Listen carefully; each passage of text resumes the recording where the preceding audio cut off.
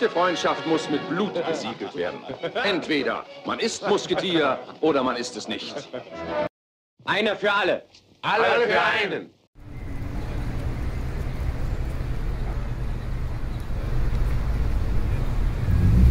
Was ist da denn los, Mann? Marius Wolf. Schon eine krasse... Ka oh, da ist der Ansgar Knauf.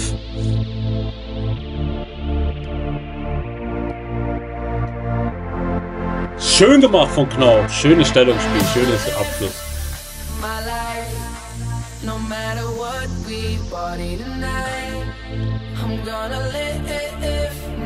Ach, schöne Vorlage von Yes. Yo, hell yeah, dirty bass. Ghetto girl, you drive me crazy. Hell yeah, dirty bass. Yo, Schöner Pass von Wolf.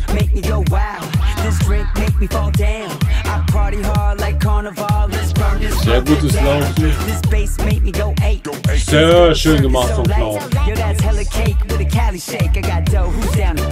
Schön verteidigt von Wolf. Ach, schön verteidigt von. Oh, schöner Laufweg. Schönes Tor von Knauf.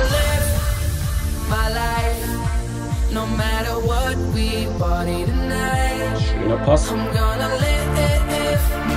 Schön verteidigt von Wolf. Jawohl, erstes Tor von schön verteidigt von Wolf.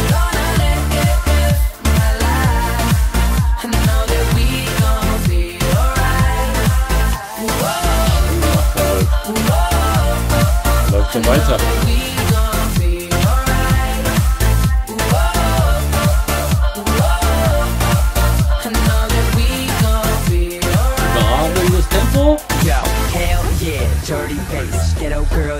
cotton crack. Hell yeah, dirty bass. No, no, no matter where we be at VIP or in the C-Lac, all we need Jawohl, schönes Top und jetzt. Sehr schönes Zusammenspiel von den beiden.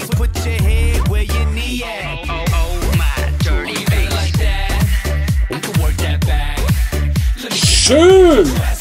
Schöner Pass auch.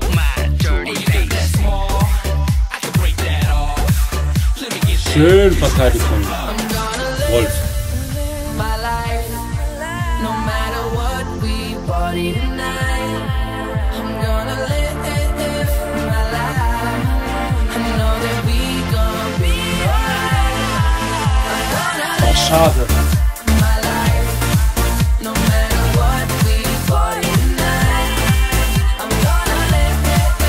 my life. Schön gemacht. Schöne Kombi von be alright. Und äh, Wirtz. Sehr schön.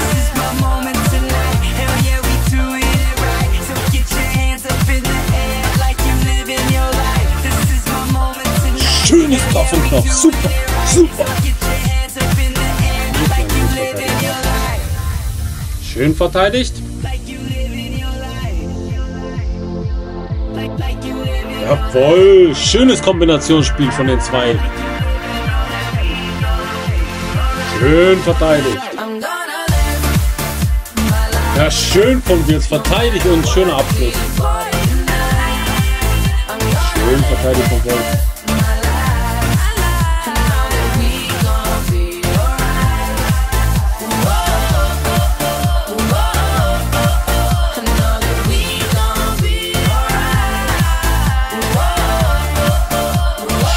my life. I know Pass von Knauf. Jawohl. Schön gespielt.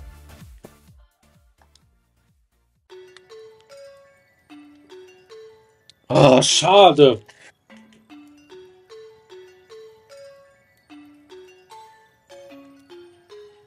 Ja, sehr gut gemacht von Knauf. Super.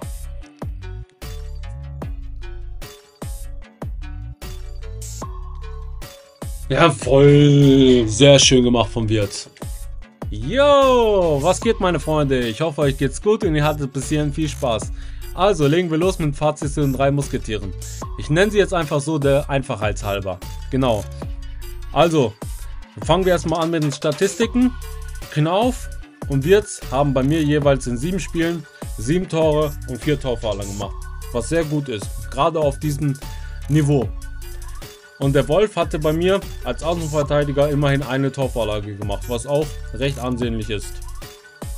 Genau, alle drei, Spie ähm, alle drei Spieler haben in der Division 3 gespielt. Man muss zudem sagen, heute wurden alle Spieler runtergestuft, weil eine neue Saison beginnt. Genau.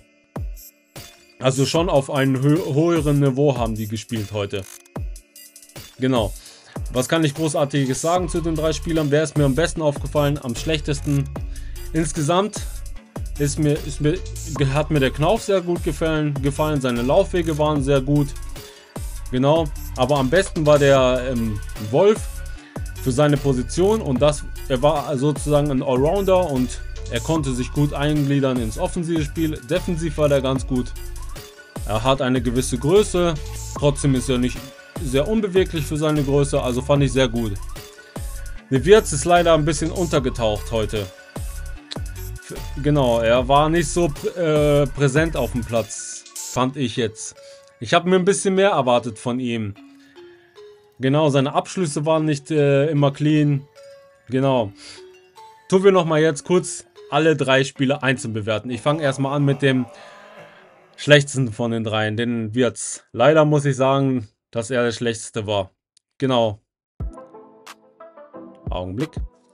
Yep, fangen wir an mit dem Wirtz. Also, zu seinem Vorteil natürlich, er ist der erste Spieler mit 5 Sternen Skills, was auf jeden Fall sehr, sehr gut ist.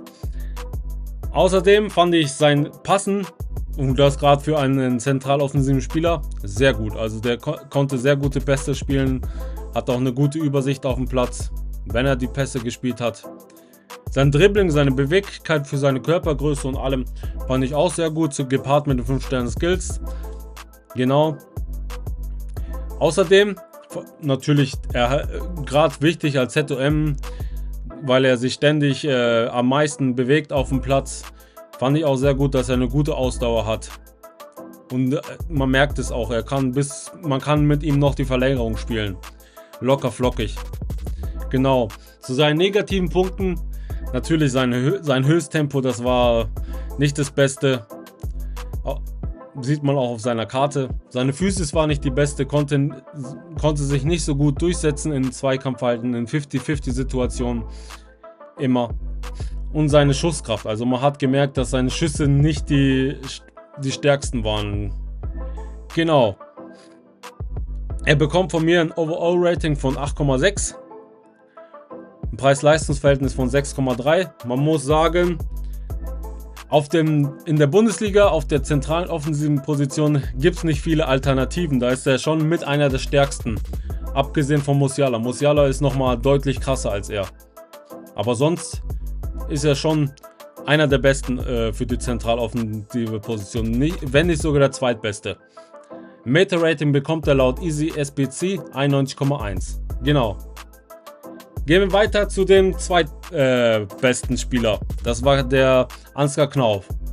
Genau, vor allen Dingen seine künstliche Intelligenz hat mir sehr gut gefallen. Er hatte sehr gut Stellungsspiel, sehr gute Laufwege, hatte zudem sehr gutes Tempo, was sehr wichtig ist. Gute Laufwege, Tempo. Dann noch, ein, dann noch einen guten äh, Abschluss wäre super gewesen. Äh, sein Abschluss war, naja, so okay. Genau, er hatte eine gute Beweglichkeit, gutes Dribbling, ein gutes und zudem hat er auch ein gutes Abwehrverhalten, das Offensivspieler. Das hat mir sehr gut gefallen. Leider muss man sagen, seine langen Pässe, gerade wenn es jetzt darauf ging, den äh, Ball auf den zweiten Pfosten zu passen, das war nicht so gut. Teilweise waren die nicht platziert, waren vollkommen daneben. Genau. Und zudem aufgrund seiner Ruhe war er nicht in Dribblings, in engeren Situationen nicht so geschickt am Ball. Hatte, da konnte er den Ball nicht so nah am Fuß halten. Genau. Insgesamt bekommt er von mir ein 8,7 Rating. Für den einen oder anderen, aber trotz seiner künstlichen Intelligenz war er aber sehr, sehr gut. Man muss es zugeben. Aber insgesamt muss ich ihm eine 8,7 geben. Preis-Leistungstechnik bekommt er eine 8,6. Das, was er gezeigt hat, fand ich sehr gut. Genau. Zu, in der Bundesliga gibt es schon ein paar Alternativen, aber ich würde ihn trotzdem zu den Top 5 bis 10 schätzen in der, in der äh, Bundesliga auf dem rechten Flügel. Genau. Meta-Rating bekommt er laut Easy SBC 91,1. Kommen wir nun zu dem besten Spieler aller dreien, der mir sehr gut gefallen hat und ich würde ihm sogar jeden weiterempfehlen. Also macht ihm ruhig. Also er ist immer noch eine Live-Karte und wenn, dann ist er immer noch sehr gut. Genau. Ich, er kriegt von mir gar keine negativen Punkte. Also ist mir überhaupt nichts negativ aufgefallen bei ihm. Man muss sagen, er ist ein super äh, Allrounder-Karte als Außenverteidiger. Hat ein super Tempo, kann halt als, als äh, Außenverteidiger sehr gut passen. Gerade die längeren Bälle kann er gut. Er hat einen guten Antritt. Genau. Kann auch gut dribbeln als Außenverteidiger und für seine Größe. Aufgrund seiner Größe hat er und seines Stellungsspiel hat auch eine gewisse Präsenz auf dem Platz und das, das unterscheidet auch viele von den viele Spieler, von den Top-Top-Spielern. Genau. Hat ein gutes Defensivverhalten, hat gute Tacklings, also kann auch, auch gut verteidigen, hat ein gutes Offensivspiel als Außenverteidiger, bringt auch eine gewisse Physis mit mit seiner Größe. Genau. Also insgesamt eine sehr gute Karte, finde ich. Also ich würde sie jedem empfehlen, mal zu machen. Schadet ja nicht. Die Karte kostet momentan nur 50, 60k. Genau. Also kriegt er auch von mir dementsprechend ein Gesamtrating von 9,0, was sehr gut ist. Preis-Leistungs-Verhältnis von 9,6, was schon fast top ist. Besser geht's fast gar nicht mehr. Also eine 10 wäre noch besser, aber es kommt schon nahe dran. Also sehr gut, sehr gut. Und ein Meta-Rating bekommt er laut Easy SBC 93,0. Also, so, zu, so viel zu den äh, drei Spielern. Also insgesamt haben sie mir alle drei gefallen. Genau. Also wer ein äh, äh, Bundesliga-Team äh, baut, den kann ich äh, die drei Karten empfehlen. Aber wer natürlich jetzt schon äh, bessere Spieler hat, der einzige, den ich von denen empfehlen würde, wäre Wolf. Der ist schon sehr gut. Natürlich kommt er nicht ran an, an Cafu. Da fehlt noch die, das Defensivverhalten, die Physis, das Stellungsspiel. Da ist der Cafu nochmal ein, ein Stückchen besser. Aber Cafu kostet auch das Zehnfache mehr. Genau. Also, so viel zu, äh, zu meinem Fazit. Ich hoffe, euch hat, hat das Video mal wieder gefallen. Ich, Gebt ein Like auf das Video, lasst, lasst ein Follow da, lasst Liebe da, kommentiert gerne, wa- was ihr euch wünscht, wen ihr als nächstes sehen wollt. Und bis dahin auf Wiedersehen, meine Freunde. Ciao.